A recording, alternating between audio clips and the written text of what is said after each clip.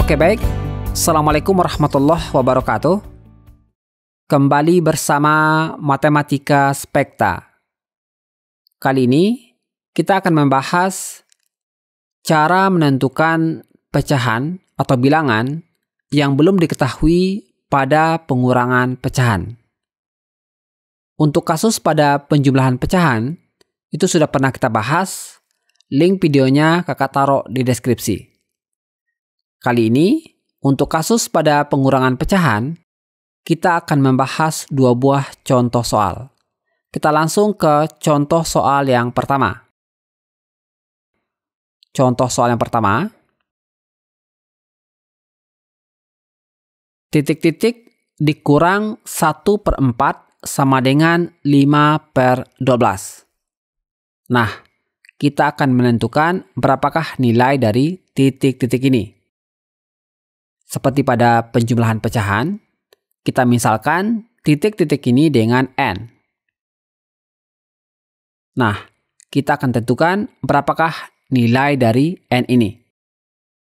Perhatikan, N dikurang 1 per 4 ini berada di ruas kiri, sementara 5 per 12 berada di ruas kanan. Ruas kiri dan ruas kanan itu dipisahkan oleh tanda sama dengan. Oke? Okay? Oke. Okay. N yang berada di ruas kiri kita pertahankan tetap berada di ruas kiri. Selain N yang ada di ruas kiri kita pindahkan ke ruas kanan. Tentu yang ini kurang 1 per 4 atau negatif 1 per 4 yang berada di ruas kiri harus kita pindahkan ke ruas kanan. Oke, perhatikan. N tetap berada di ruas kiri berarti N sama dengan di ruas kanan sudah menunggu 5 per 12.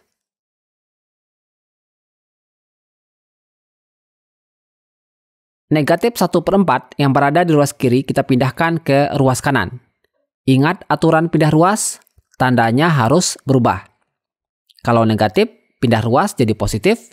Sebaliknya, kalau positif, pindah ruas menjadi negatif. Oke, ini negatif 1 per 4. Di ruas kiri, kita pindahkan ke ruas kanan, tandanya berubah menjadi positif 1 per 4. Oke? Positif atau ditambah ya. Ditambah 1 per 4. Sama dengan 5 per 12 ditambah 1 per 4. Ini penjumlahan dua pecahan biasa. Cara mengerjakannya ada banyak. Bisa menggunakan cara cepat, bisa juga menggunakan cara biasa. Kali ini kita akan gunakan cara biasa dengan menyamakan penyebut menggunakan KPK.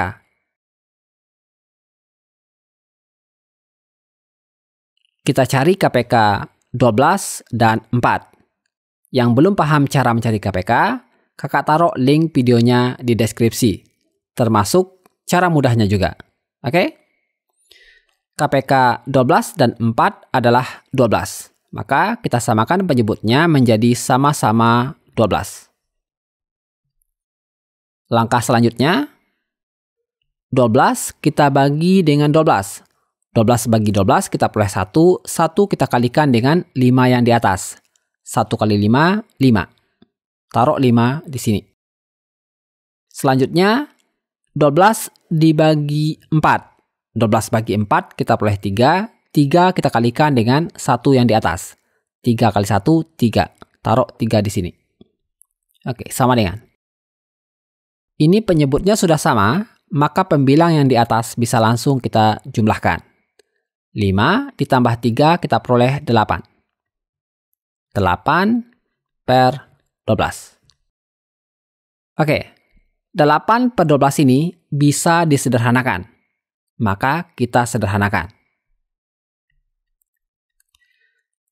8 dan 12 sama-sama habis dibagi 4, maka kita bagi dengan 4. Pembilangnya kita bagi dengan 4, penyebutnya juga kita bagi dengan 4. 8 dibagi 4 kita peroleh 2 per 12 dibagi 4 kita peroleh 3.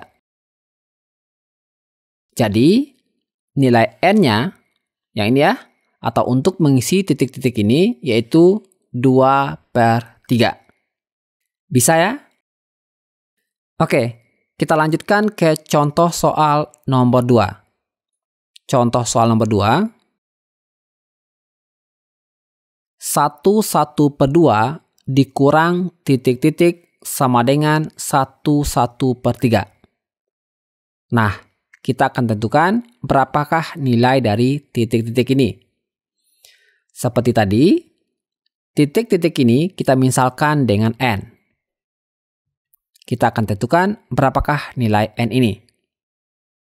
Oke, n ini yang berada di ruas kiri, kita pertahankan tetap berada di ruas kiri.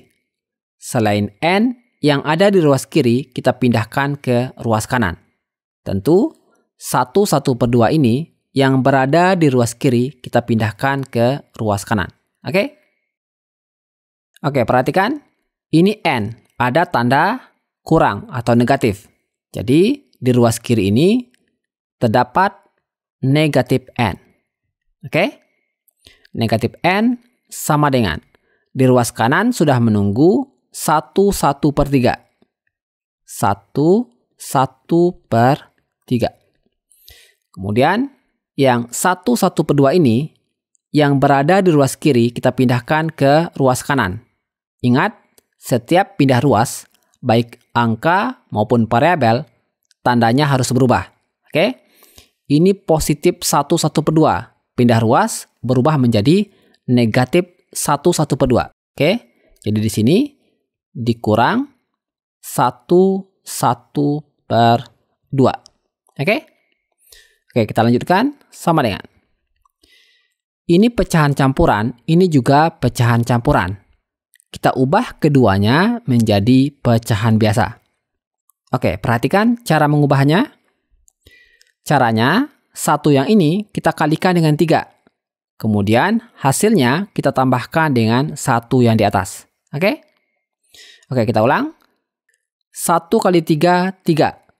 Tiga kita tambahkan dengan satu yang di atas. Tiga tambah satu, empat. Berarti empat per tiga kemudian dikurang. Yang ini, satu kita kalikan dengan dua, nanti hasilnya kita tambahkan dengan satu yang di atas. Oke? Oke, perhatikan. Satu kali dua, dua. Dua ditambah satu yang di atas, tiga. Berarti hasilnya tiga per dua. Untuk yang belum paham cara mengubah pecahan campuran menjadi pecahan biasa, kakak taruh link videonya di deskripsi. Oke? Okay? Oke, kita lanjutkan sama dengan. Ini pengurangan pecahan biasa. Caranya ada banyak, bisa menggunakan cara cepat, bisa juga menggunakan cara biasa. Kali ini kita masih menggunakan cara biasa, yaitu dengan menyamakan penyebut menggunakan KPK. Kita samakan penyebutnya, kita cari KPK 3 dan 2. KPK 3 dan 2 yaitu 6. Jadi kita samakan penyebutnya menjadi sama-sama 6. Oke, langkah selanjutnya 6 kita bagi dengan 3. 6 bagi 3 kita peroleh 2, 2 kita kalikan dengan 4 yang di atas. 2 kali 4, 8. Langkah selanjutnya 6 yang ini kita bagi dengan 2. 6 bagi 2 kita peroleh 3, 3 kita kalikan dengan 3 yang di atas. 3 kali 3, 9. Oke, sama dengan. Ini penyebutnya sudah sama, maka pembilang yang di atas bisa langsung kita kurangkan. 8 dikurang 9 kita peroleh negatif 1. Negatif 1 per 6. Negatif 1 per 6 ini bisa kita ubah cara penulisannya menjadi negatif 1 per 6. Oke, ini sama ya. Penulisan seperti ini atau seperti ini sama saja. Oke. Oke, kita sambung di sebelah sini. Oke, perhatikan. Ini negatif N. Negatif N sama dengan, ini hasilnya negatif 1 per 6. Oke. Negatif N sama dengan negatif 1 per 6. Kita mencari nilai N. Bukan negatif N ya. Jadi negatif n ini kita ubah menjadi n. Nah, perhatikan. Negatif N menjadi N. Caranya, negatif N ini kita kalikan dengan negatif 1. Oke? Negatif 1 dikali negatif N, kita peroleh N. Oke?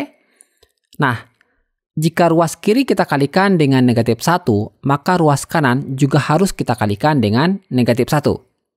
Jadi, ini kita kalikan dengan negatif 1 ya negatif 1 dikali negatif 1 per 6 itu kita peroleh 1 per 6. Jadi nilai N itu adalah 1 per 6. Oke, sangat mudah ya. Oke, ini mudah, tapi jika masih ada yang ingin ditanyakan, cantumkan di kolom komentar. Terima kasih. Assalamualaikum warahmatullahi wabarakatuh.